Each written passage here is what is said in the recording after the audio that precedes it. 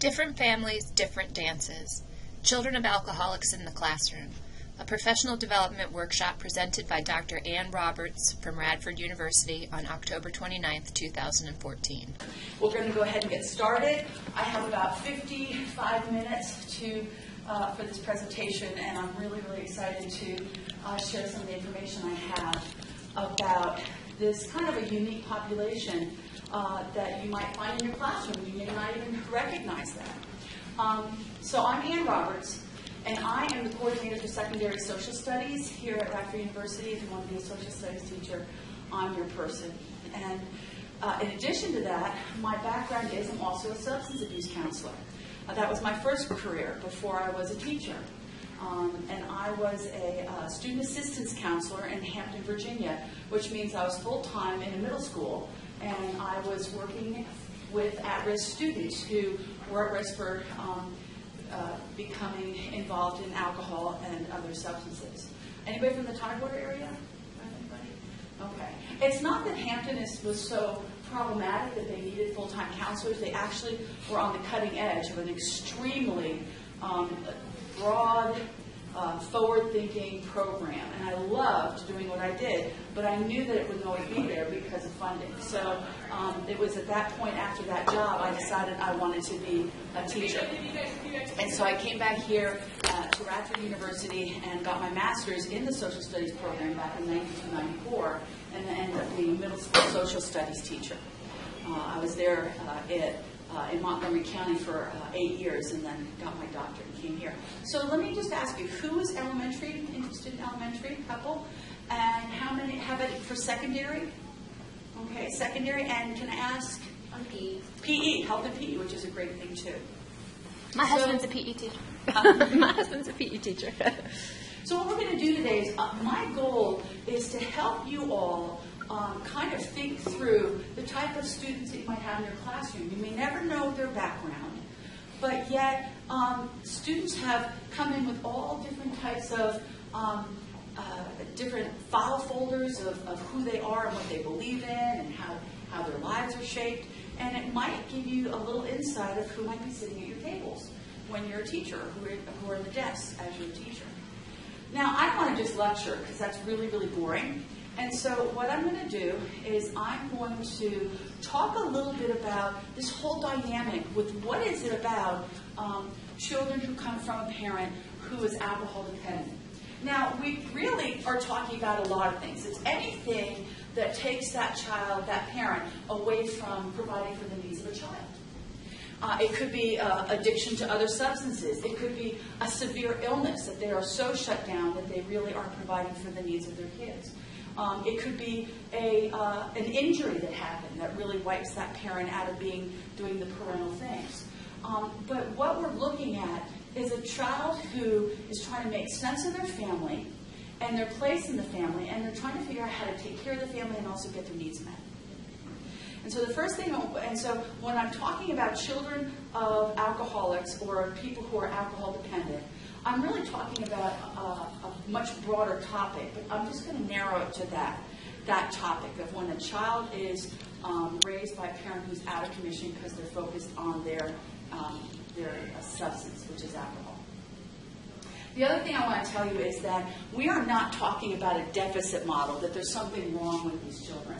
It's just a different dance. That's all it is. It's not less than. We all, and here's my first assumption do you agree with this? By virtue of being raised by parents, wouldn't you agree that everybody comes away with a little something that they got to work on?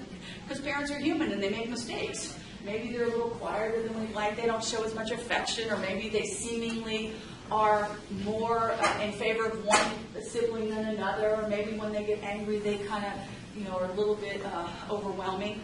But we all come away with something in our family. And so I would argue that it's just the same with the children of alcoholics. And the second thing I want you to think about is um, would you agree with me? This is my other assumption that uh, parents, the main goal of parents, if they have children, is to provide for the needs of their children food, shelter, clothing.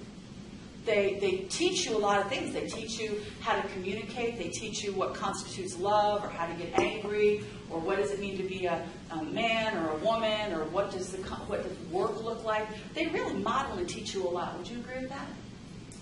Okay.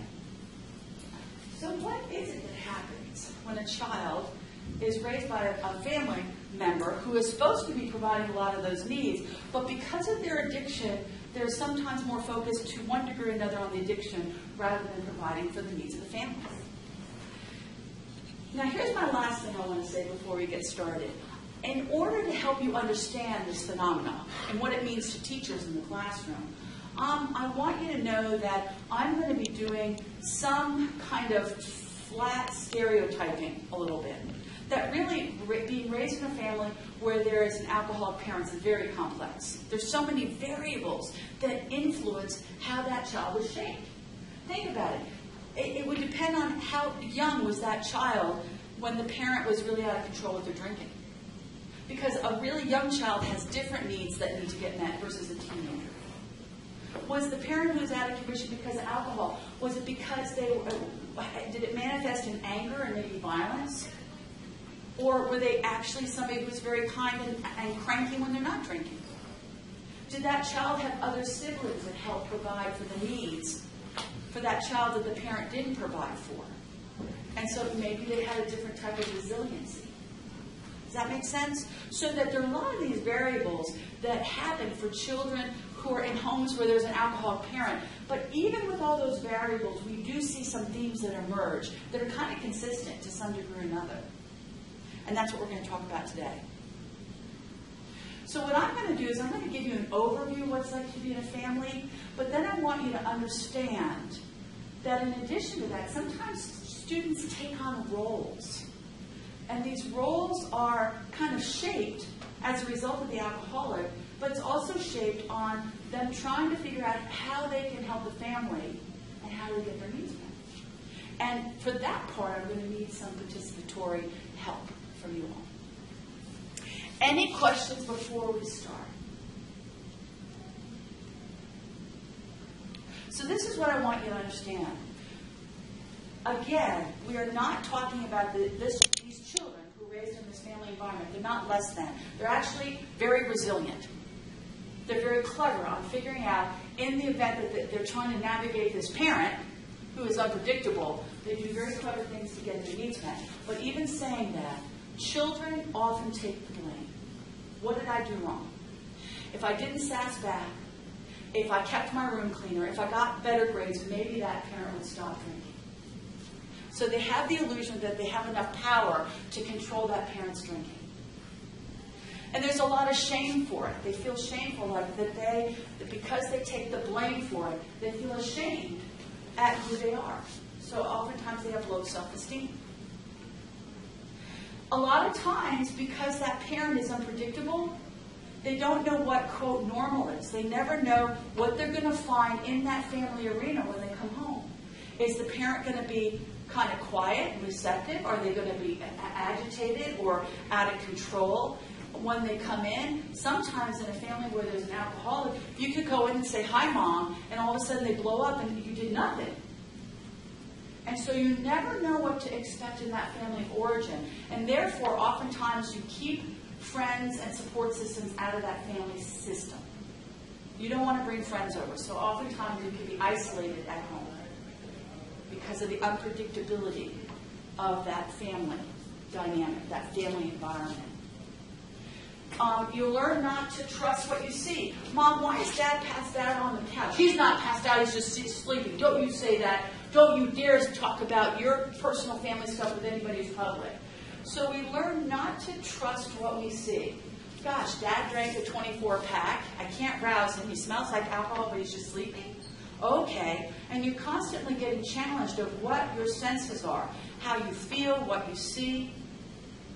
And so you learn to kind of shut down your feelings and you learn not to trust your emotions. Why hasn't mom ever come to my family events? You know, she always says she's going to, not family events, my school events. She always says she's going to come, but then she never does. Your mom works hard. She loves you. Okay, I'm always being disappointed, but this is love? Okay, you kind of get all these very, very mixed messages. you turn you tend to want a lot of control in that family of origin because you're working hard to get your needs needs met. So sometimes children of alcoholics can be very controlling. And as far as connecting to others, they, they struggle a little bit about that because their primary connections, where they should learn those connections with the father and the mom, they're having some difficulties. So sometimes what that does is it manifests into they aren't don't quite feel safe with other family dynamics or other friend dynamics or how they relate to other people. So they tend to kind of keep to themselves. They're always feeling guilty like they caused stuff. They're always saying, I'm sorry. There's chaos a lot of time in those families. And they have to navigate through that chaos. And they almost, if there is a lot of chaos in that family, they almost seek that chaos because that's normal. They might create a little bit of that chaos because at least they know how to navigate it. So sometimes that's kind of a byproduct of being in that family. Whether they know it or not, they might seek out the friends who have a lot, a lot of drama and dynamics going on that are kind of uh, crazy. Okay, so that's just kind of the climate. But in addition to that, because of that, we have kids who are um, who oftentimes take on roles in the family to help the family get their needs met. So what we're going to do now is I'm going to do what's called a family sculpture. And what that means is it's, it's almost a counseling technique. I'm going to ask six people, which is all but one of you, so you got to participate all but one of you, I need your help in creating this family drama. I'm going to tell you a story. I'm going to, it's going to be about a dad and a mom. The dad's going to be alcoholic. And I'd like the dad to be a male and the mom to be a female. No offense. The kids can be either gender, but it just makes it simpler that way. Um, not that I don't, but anyhow. Um, uh, other family structures are okay, but we're going to be typical. I'm going to tell the dad's story. I'm going to situate him in the room. I'm going to ask him to say one. I'm looking over here now because this is my male genital table. I'm going to ask for them to say one line over and over again, about five, six times. I'll tell them to stop. I'll bring in the mom. I'll tell you her story. I'll situate her in the room. I'll ask her to say one line over and over in his line, and then they'll be in concert with each other at the same time. Then I'll bring in the first child. I'll tell you their story, situate them in the room, and then I'll just keep adding people. So it's going to be a mom and a dad and four kids. Okay? Any questions before we start? Okay. Who would like to be the dad? I won't make eye contact at this moment. I don't want to bully you, but you all can kind of.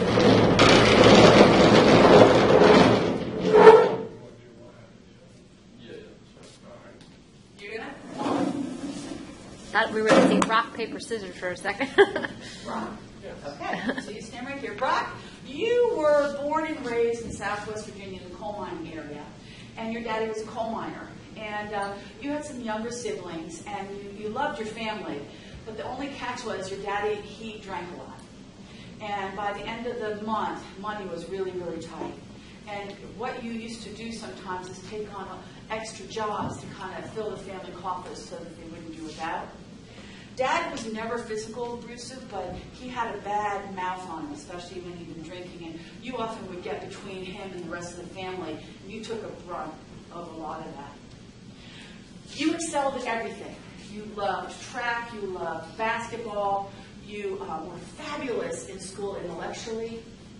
Um, you any competition as far as debates or or essay contests, anything, you did everything you can. Um, because you realized three things raised in this family. The first was that someday you were going to create the family that you didn't that you wanted that you didn't quite have.